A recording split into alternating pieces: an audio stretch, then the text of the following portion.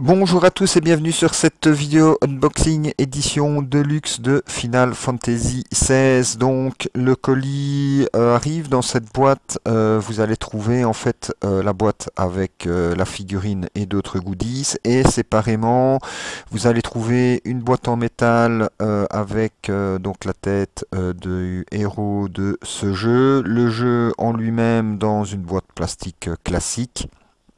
Et la petite enveloppe euh, elle, elle contient en fait les différents euh, petits drapeaux qu'on va voir par la suite euh, des différentes factions. On reçoit par mail un code pour tout ce qui est numérique, donc la bande son, le l'artbook et les éléments en jeu. Donc les, les petits drapeaux, donc ce sont des drapeaux en tissu avec deux petites lichettes qui vont vous permettre de les accrocher, par exemple sur un fil nylon pour les mettre euh, au mur. Ils sont, voilà, les dessins sont, pas mal faits. Euh, c'est du fin, fin tissu, hein, bien évidemment, euh, comme on peut souvent avoir. Malheureusement, moi j'en ai un qui était plié dans la boîte, donc il va falloir se débrouiller pour faire disparaître cette pliure. Euh, donc, mais voilà, c'est pas, ils sont, ils sont pas mal faits du tout et euh, les petites lichettes pour accrocher, euh, je trouve que c'est pas mal. Ça évitera ceux qui veulent puniser de faire des trous dedans. Vient ensuite donc la boîte principale avec donc les différents goodies. Donc là, il y a un, un superbe dessin sur trois faces. J'ai déjà vu des photos de personnes qui ont découpé la boîte pour mettre la figurine devant. Moi, ce ne sera pas le cas. La boîte va rester euh, entière bien évidemment. Alors quand on ouvre donc euh, cette boîte, on y retrouve à nouveau deux autres boîtes. La première euh, va contenir les différents goodies euh, qu'on a euh, encore avec le jeu, c'est-à-dire la map monte en tissu.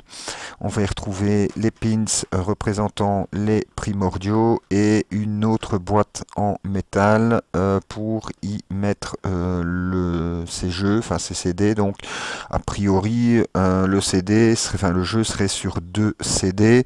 moi j'utilise une version des maths du jeu vu que j'avais précommandé les deux versions et donc, euh, ben, le jeu restera dans sa boîte d'origine pour moi.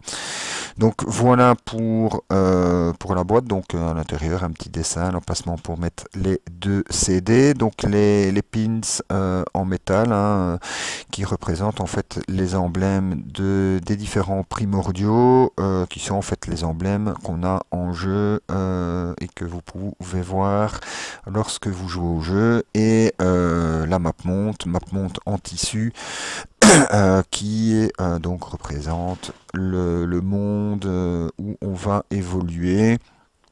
Elle ne donne pas spécialement d'indication hein, par rapport euh, au map monde qu'on a dans le jeu, surtout que c'est écrit, euh, on va dire, dans la langue du, du jeu pour une bonne partie. Euh, ensuite, ben, le plus important, la figurine, donc dans une boîte avec d'un côté Phoenix et de l'autre côté Ifrit représenté.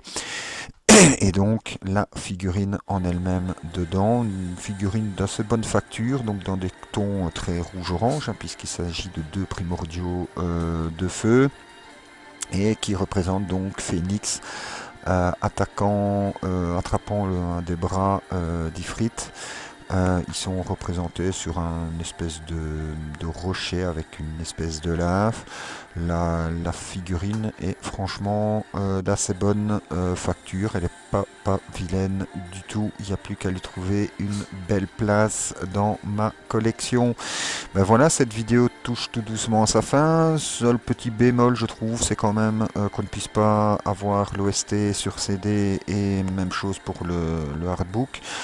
Euh, surtout qu'on ne sait pas faire de copie vu que c'est via la console et je ne saurais même pas vous les montrer puisque l'enregistrement euh, en est interdit euh, dans cette zone. C'est un programme Square Enix propre qui apparemment va servir dans lequel vous pourrez regrouper tout ce qui est objet comme ça dématérialisé. Ben voilà, au revoir, merci et à bientôt.